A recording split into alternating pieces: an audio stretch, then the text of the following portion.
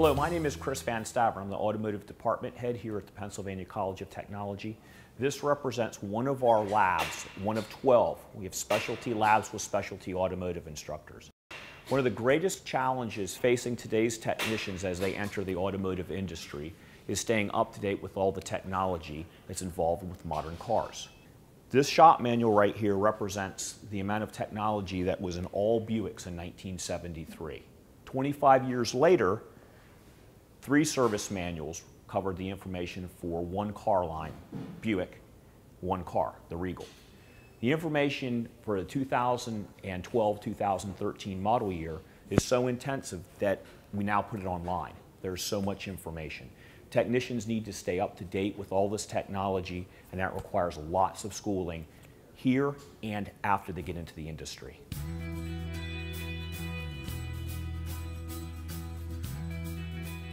My name is Colin Williamson. I'm the Dean of the School of Transportation Technology, and I've been here for 25 years.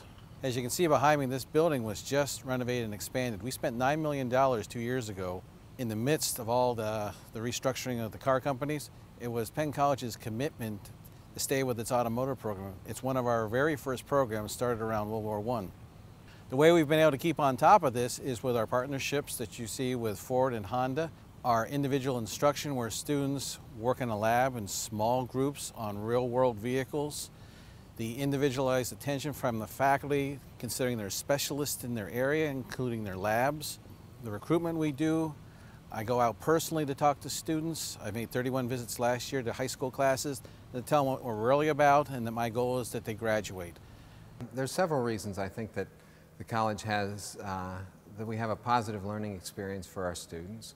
One of them um, would be, as you can see, the lab. The facilities are very good. We get excellent support from our administration.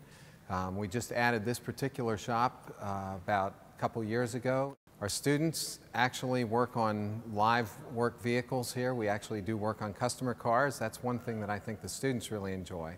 They realize the cars are going to be going back out on the road and they have to do a good job on them. They get a real life experience here while they're uh, in, in some of the second year classes.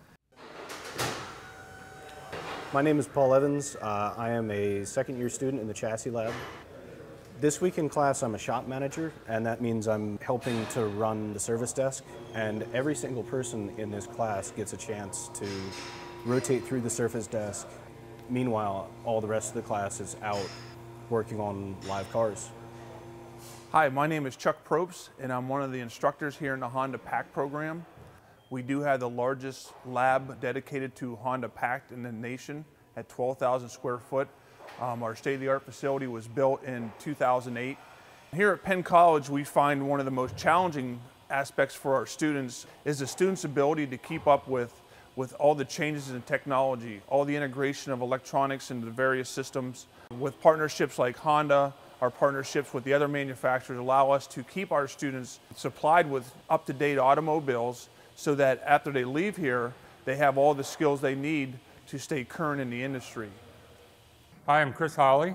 This is the uh, Automotive Air Conditioning Electrical Lab in the ATC building. Inside this lab we have about uh, 14 donated vehicles we use. We have other cars we use occasionally that are also donated. But this is the cars we use most of the time. They're from several manufacturers, Chrysler, Chevrolet, Ford, Honda, Toyota. And uh, we even have some older products that have been donated that we're going to be using in additional classes that we're going to be implementing this spring some aftermarket type performance classes. Dyno related classes, we'll be dynoing older cars and we'll be dynoing newer cars. We'll be doing an ABA type testing where we'll do a test on a component. We'll add the new component, then we'll go back to the original component so we can see if the testing actually improved the performance of the automobile. We have older cars, so we'll be able to do simple things such as ignition timing, air cleaner element changes, um, move up into uh, ignition timing, distributor timing, cam timing, eventually move into the internal parts of the engine and the drivetrain. We're going to focus on OBD2 car and a pre-OBD2 car, actually a carbureted automobile. We've had some of the best technicians in the country um, over the last two to three years. BMW and Chrysler's top techs were graduates of ours. The, uh, the top ASE tech, future tech in the country was one of our graduates two years ago, Colin Hofford. And we've won first and second and third place in Skills USA over the last 10 years. It's just all a testament to the quality of the student and quality of instruction that we do here, which I think sets us apart. Plus some of the elective things we do, whether it's an aftermarket, whether it's a trip to Milan, Italy for the students. Just doing the things that round out their education and get them excited about automotive.